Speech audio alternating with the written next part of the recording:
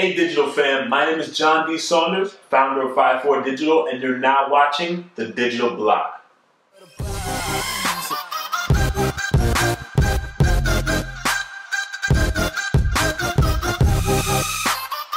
Hey everyone, what's good?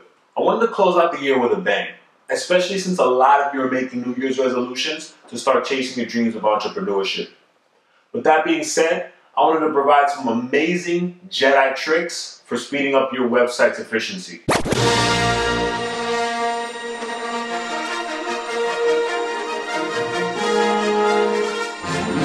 If you're using WordPress as your website content management system, like 74 million other websites out there on the interwebs, then you can benefit from this week's digital block. I'm basically going to break down three amazing and free plugins to improve your website speed and efficiency as well as performance. So you might be asking, why is speed important? Basically, page speed is a big ranking factor in Google's algorithm for both desktop and mobile sites. John Ekman explains in an article on Unbounce that faster load times improve your rankings, as well as help you gain organic traffic. Think of it like this. Fast load times coupled with engaging content can lead to more visits, less bounces, and increased ROI on your website. So your next question might be, what's slowing down your website? It could be a bunch of things, from HTTP requests, which are the numbers of items that need to be loaded such as scripts, style sheets, and images, to ad overload and an influx of bulky code. Any one of these factors can contribute to the lag on your website. So, in today's Digital Block episode, we'll one, run a test of your current website speed with Google Page Insights and Pingdom Website Speed Test to create a benchmark to work from. Two, we'll discuss three plugins to increase website speed. Lastly, we'll run a final speed test to measure results. Let's get started. First thing you want to do is go to tools.pingdom.com. This is the first speed test we're going to try out. All you have to do is put your domain right here where it says test now. We're going to test our blog, which is a tech blog, to see what the speed is like now before we install the plugins later. So once you have your domain in there, go ahead and hit test now. It'll give it a second. They usually test it locally, as you can see, are using a server in Dallas, Texas. It'll tell you how many requests are going to your site and your average load time. So my website takes about 4.3 seconds to load and it has a grade of 66 out of 100. It'll also tell you how much faster your website is in comparison to all other tested websites. So with this information, I will go ahead and take a screenshot of this. You can do that on a Mac by hitting Command Shift 3 and then save that for later. Next, we want to run a Google speed test. All you have to do is Google the words Google speed test and hit the first listing that comes up in the organic search. Once you do that, it'll bring you to a page similar to Pingdom's, but this is actually from the Google developers. Then go ahead and type in your domain here. Google's PageSpeed Insights will give us information on your desktop speed as well as your mobile optimization and speed. So this was a little bit more granular than the Pingdom one. We just want to create a benchmark like we did with the first Pingdom test. So you can see my website can use some improvement, 47 out of 100. It even gives you options to fix. So even if you're not a developer, you can have someone make these changes for you and update these for you by finding a developer on Freelancer or any type of website where you can hire people from overseas or locally for an inexpensive price. Desktop is also okay.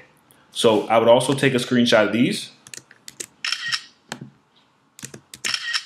and save those for later. Now we have two benchmarks to work with. Once we install our plugins, we'll find out how much our speed is improved after. Now that we've created our benchmark, we can go over the three plugins we're going to be installing. The first one is Autoptimize. This speeds up your website and helps you save bandwidth by condensing and minimizing JS, CSS, and HTML files. So essentially it makes all these files a little bit smaller so that your website loads faster. So essentially what this plugin does is take all of your loading files that take up RAM and CPU, like your PHP and MySQL files, that take time to load your website.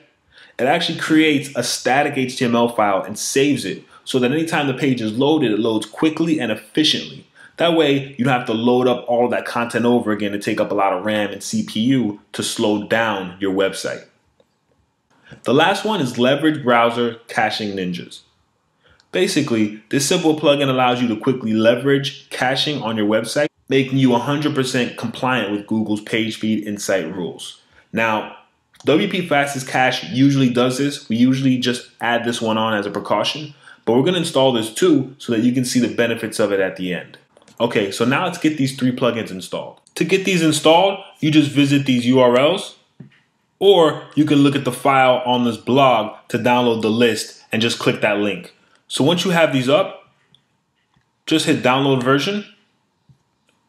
Same thing with WP Fastest Cache, as well as leverage browser caching. So you can see those are all downloaded on mine. Next step is logging into your WordPress website. All right, let's get these plugins installed. Head over to plugins on the left hand side and hit add new. Hit upload plugin. You don't have to search through WordPress because you already have them on your computer. Choose file. Let's start with auto optimized. I'm gonna go ahead and download that one and hit install now. Once it's installed, just hit activate. Once auto optimized is installed, you can go to settings and then you can choose what you want optimized. So I'm going to say optimize HTML code, optimize Java, optimize CSS, and then save changes and empty cache. Okay, that's pretty much it for Autoptimize. We have WP fastest cache. Just go ahead and go to plugins, add new, and hit upload plugin again. You already have the files on your computer. Hit install now. Once you're done, go ahead and hit activate plugin. Okay, once it's activated, it'll bring you to a list of all your plugins on your website. Just scroll down, take a look at it. Okay, it's installed. And then you can actually go to this left-hand side panel and hit WP Fastest Cache. You're going to hit Cache System, Enable. That's the only option that I do for now. You can also minify HTML if you want to decrease the size of the page. You can minify CSS. Play with a few of these to see how your speed um, is optimized. Once you're done with that, hit submit, okay? Then hit the tab delete cache. Scroll down and hit delete cache. Deleting the cache gets rid of all the internet files and temporary files that are bogging down your website. So I would suggest doing this whenever you log on, whenever you're adding new content, just to clean and streamline the website. Once you do that, boom, you're done with WP Fastest Cache. All right, once you're done with Fastest Cache, we're gonna add one more plugin, Leverage Browser Caching Ninjas. Make sure you have it downloaded on your computer. Hit install now, activate plugin. Okay, once that is installed, you can scroll down. You can see it here, Leverage Browser Caching Ninja. You can actually hit the settings on the left-hand panel as well. When you do that, you can see that it's enabled. Just double check that it is. You can donate to the awesome developers. And that's pretty much all you have to do. This is just a setting to confirm that your website is good to go. Oh, there's mom. That your website is good to go. All right, those are all three plugins ready to go.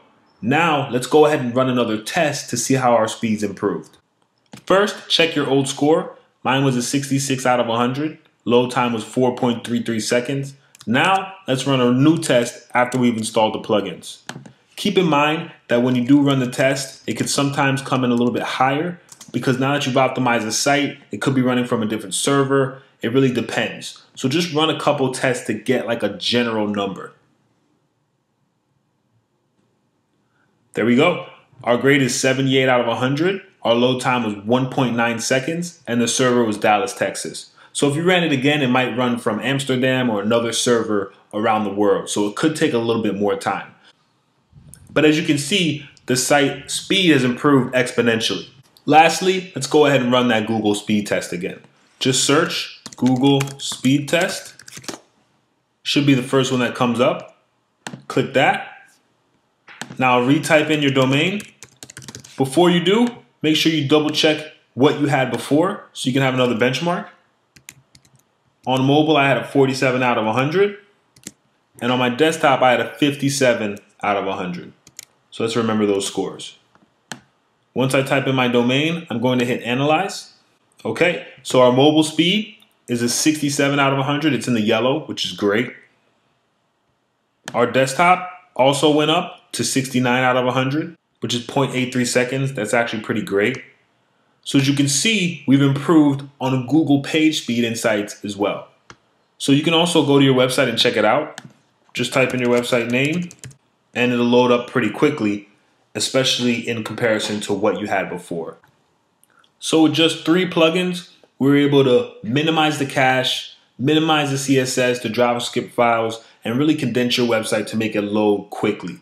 All three plugins are free, and it's a quick way to add a speed boost to your website without having to shell out any cash. Thank you guys for watching the Digital Block. As a quick bonus, we have an exclusive plugin list that we created with all of our favorite WordPress plugins, um, absolutely free. We hope you enjoy. Peace.